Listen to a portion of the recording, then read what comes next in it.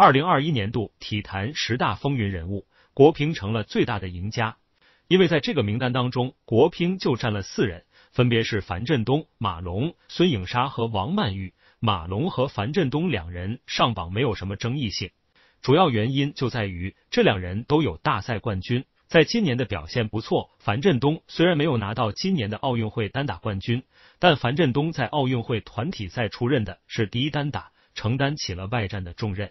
面对困难，并没有退缩，很好的完成了比赛任务。再加上是乒赛单打夺冠，已经顺利接过了马龙的接力棒。不管是马龙还是樊振东，都显示出了传承的力量。这两个选手能够入围，确实毫无争议可言。马龙成为双满贯选手，也是创造了国乒新的历史记录。如今的马龙还在延续自己的传奇生涯，登上年度体育风云榜再正常不过了。陈梦为什么没有上榜？可能跟今年奥运会结束之后的几次大赛有关系。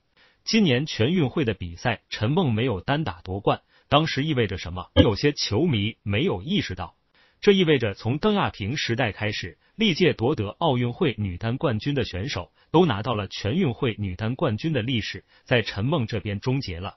某种意义上，陈梦是一个终结者。全运会的比赛让许多专业球迷看出了陈梦的短板之处，那就是陈梦只有特定条件下才能够夺冠。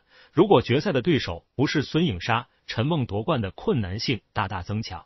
现在也已经成了很多球迷的共识。乒赛的比赛，这两名年轻选手全部身兼三项。而且王曼玉跟孙颖莎在陈梦输掉女双半决赛的情况下，顶住了巨大的夺冠压力，顺利击败了伊藤美诚和早田希娜组合，确保了国乒赛女双这个项目上继续称霸乒坛。在这里，让我们再一次祝贺马龙、樊振东、孙颖莎，还有王曼玉以及其他比赛项目的获奖者们，同时也希望陈梦不要气馁，在迎将到来的二零二二年。争取有新的调整，为自己重新赢回一个杰出球员的称号，并争取再有一次站上奥运会赛场证明自己的机会。